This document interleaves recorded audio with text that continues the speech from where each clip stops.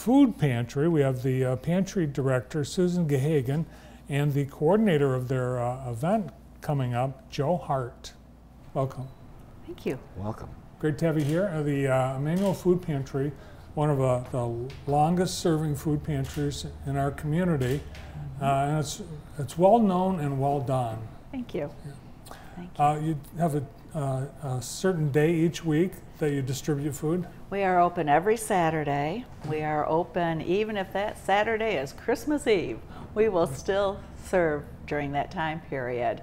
Um, occasionally, uh, we will also offer food if someone were to come to the church, but we try to get people to come on Saturdays. We're open from 9:30 to 11:30, and uh, it's pretty simple.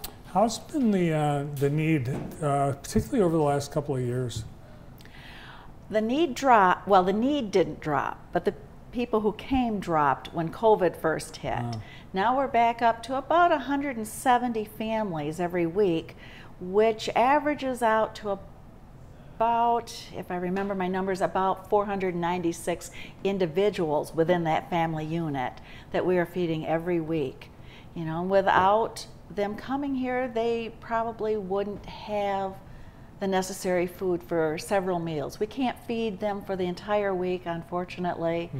but we try to do at least a couple days. That's awesome. So they're counting on you every week. Yes. So that takes a lot of um, people, a lot of money, a lot of donations. And Joe, that's where you come in. You've got a, a, a fundraiser.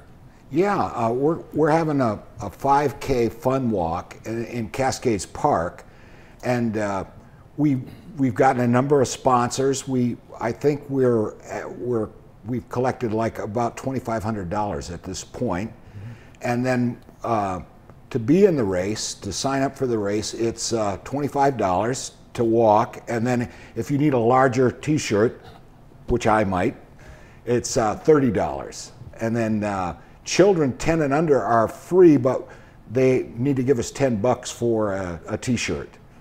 But uh, what we really need right now is more walkers. We we've been very much blessed with lots of sponsors, but we we don't have so many walkers. But our, our goal is to raise money for the food pantry and uh, you know to, to help keep it going because it's such a vital you know resource to our community. Yes. Yeah, a lot of people, as Susan said, depend on that uh, each and every week.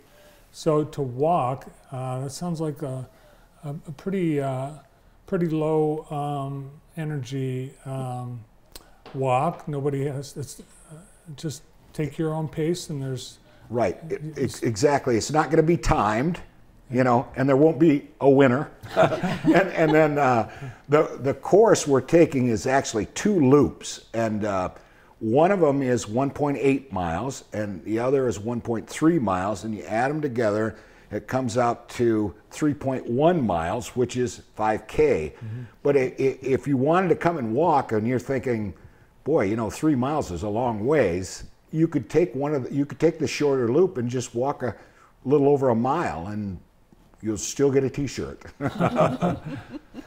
and you can even take the shortcut. yeah, Yeah. You have um, some sponsors you wanted to mention. yeah. we- We've been very blessed with sponsors. Uh, we we've had uh, many of our community leaders, including like Consumers Energy and and Polly's Food and Gordon and Myers and Bailey Excavating and American One Credit and Premier Sports and ERA Realty and D&D Thermal Products. And we've even had some people from outside the community like uh, FiberTech Environmental Services in Holt. And several members of our church have come forward and said they would be sponsors. And you can either sponsor for 100 or $250. There's, uh, and uh, we, people have really came forward with the sponsorship. If someone wants to just make a donation and they maybe they're busy that day, they can't or won't, don't You- want to walk, they can.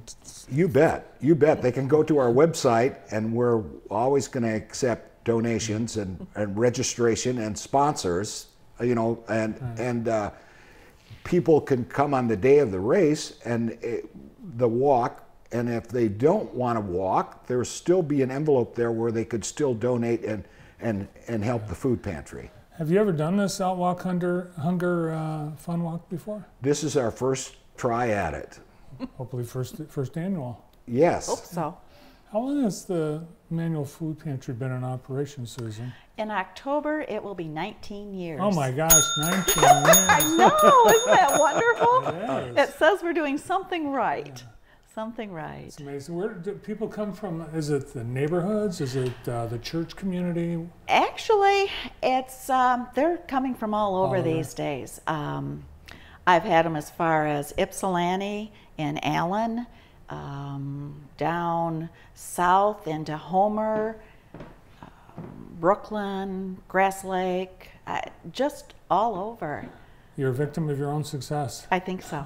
but we don't look at it that way. We're glad if they're hungry, they're coming. Yeah. That's the whole point.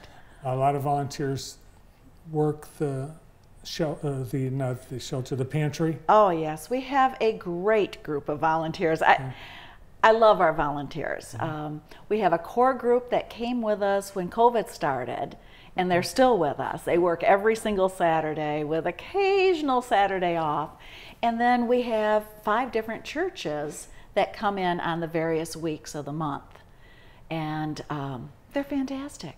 They're just all happy people and they're so glad to be there helping people and it makes my job a lot easier If someone wants to donate um, food, um, I know you prefer the money because you Mm-hmm. can buy from the uh, food bank, but Mm-hmm. Are there times people can drop things off? yes we always will take food donations. One of the things that we have is what we call a bonus table. And we set it out there. And it's things that we have only like maybe three or four of or you know just not enough to put it out there for everybody. And I tell you, the lady who runs our bonus table was gone for about a month, so we didn't have it. And every week, are you going to have the bonus table? Are you? so they look forward to it. It's a way of getting just a little bit extra, and who can't use a little extra? Sounds like a cool, cool feature. Yeah. All right, let's get people uh, signed up for the walk, and they do this. Should they do it online, Joe? Yeah, yeah, and, and you know what? Uh, I think you showed a slide about the address, but if they just go to www.emmanueljackson.org, it'll bring up a banner, and there on the banner you can either click on registration or sponsorship, and I, I think that's the easier way to do it. I hope you have a beautiful weather day like today. Oh, wouldn't that be nice? This good walking weather, yes. Yeah.